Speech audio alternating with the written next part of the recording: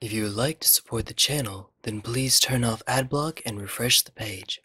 Alternatively, use the link in the description below to donate to T1 Patreon. Thank you. Hello Magic Community on YouTube, I'm T1 Glistener Elf, here with three quick spoilers for you from Eldritch Moon.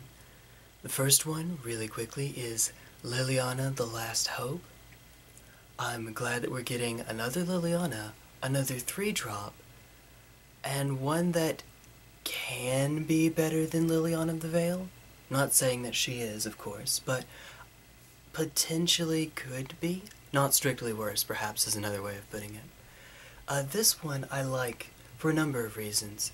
It staves off your opponent's creatures in a different way than Veils. Instead of having to minus to do it, you plus, you get to target, but it's less likely to actually end up taking the creature out, whereas, obviously, if you edict them, and that's the only creature, it's gone.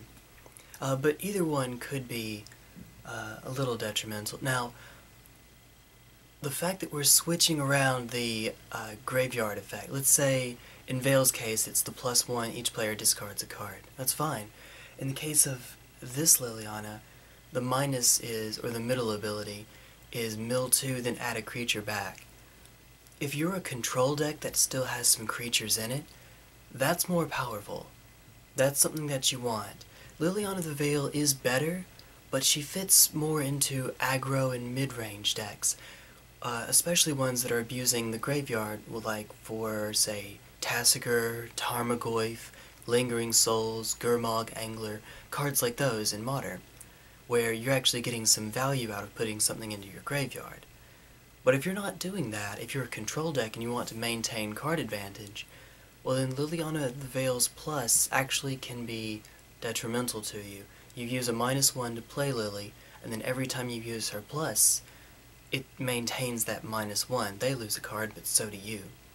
You want to try to break that symmetry. Well, in this one's case, you don't have that issue. You fill up your graveyard, which in Standard doesn't matter as much now that Delve isn't really a thing. It isn't a thing. Not, it isn't really, it isn't a thing. Um, but there are still some ways that you can abuse cards being in your graveyard. Now, importantly, this is not discard, so it won't trigger madness.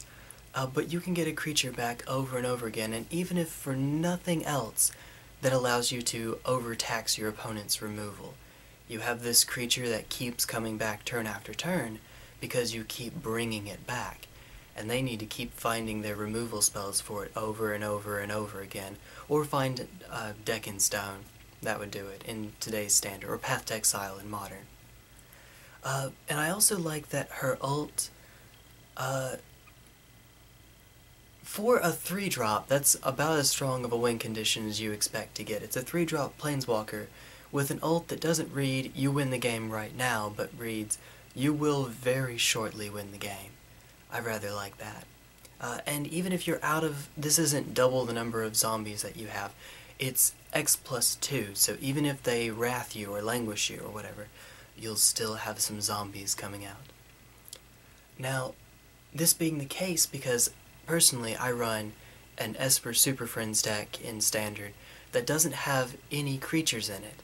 And the reason it doesn't have creatures is because it runs Narset Transcendent as a 4 of, who has better than a coin toss to add another card to hand each time with her plus. But if I'm going to run The Last Hope, I may want to add some creatures in, if for no other reason that now I can overtax opponent's removal. Otherwise, I just have a 3-drop with two abilities, and starting out with only one. And that isn't as good, obviously, so if I work this deck, if I tweak this deck, I may have to take out Narsets, or find another way around it.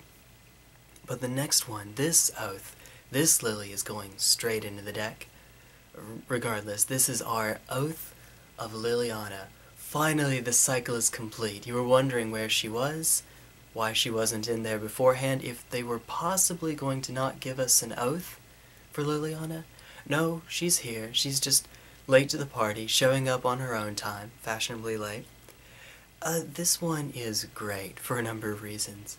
Uh, the first ability, the first trigger, doesn't really matter in Standard. There's Orbs of Warding. That's really the only hexproof that we see in Standard right now.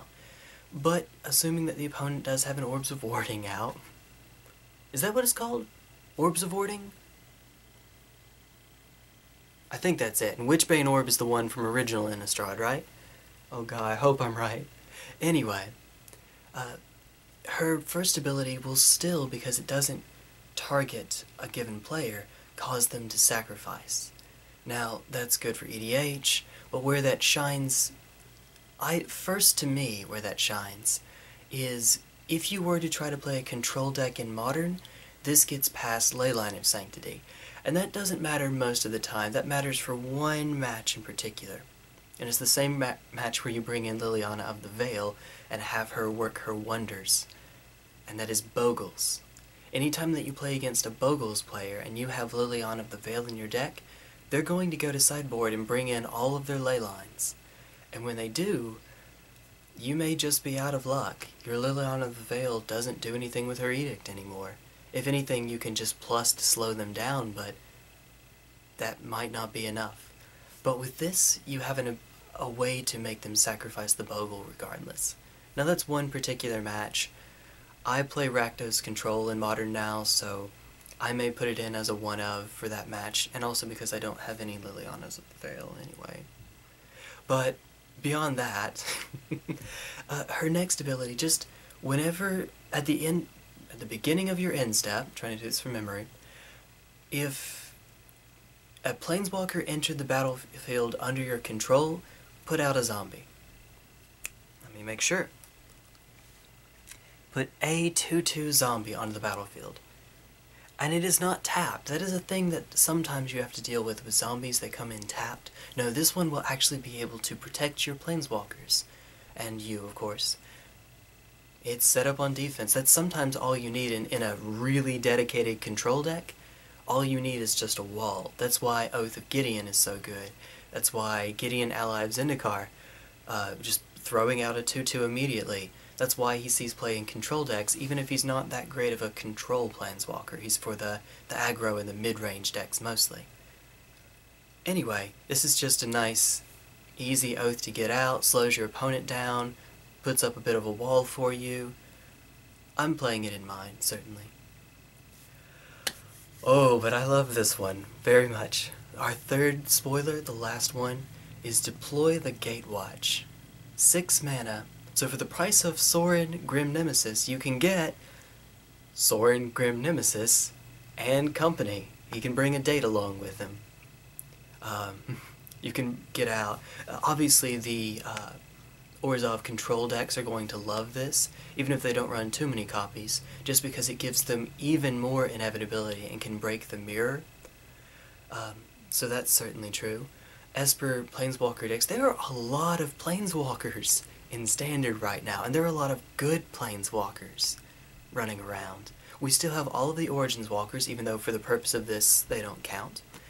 We still have Narset, we still have Ob Nixilis, we have Gideon, we have Chandra, we are getting a Bant Tamiyo, we have Lily, we have Jace, not counting the creature Jace. Um, and now we have... Yeah, I said Lily, didn't I? We have a lot of good Planeswalkers that are running around. And yeah, you can absolutely make the most out of them. I was hoping that I was going to get a Tamiyo to put in my deck as well, but I'm actually glad, despite the fact that it ends up hurting me, that we have a Bant Planeswalker at last and the Collected Company decks are going to get a lot of good use out of her. But this one is just, when you get to the late game, you win the attrition war. It's not quite that simple, obviously, but this is a huge win con for control decks that are running a lot of Planeswalkers. If you're, if the object of the game for you is survive the early turns, wrath the board or otherwise remove their creatures, and then win through Planeswalkers just outvaluing the opponents, then this is the card for you, especially if you have a lot of diversity in the walkers in your list. So, with that being said, this is what uh, I am most excited for. These three spoilers in particular, um, for standard anyway, are the ones that so far I'm most excited for. And I hope to get this video up to you before too long, before they've been uh, before they've been around and everyone else has gotten a chance to comment on them but I look forward to reading your comments. If you have an idea for how to abuse these, or if there's another card that you're interested in. What's the colorless uh, Nephalia Academy? There we go. Sorry, I had to look at my cheat sheet. Nephalia Academy kind of looks awesome in a format that's going to have so much discard. Whispers of Emrakul is in the format right now. That is going to be a sick land to play, I think.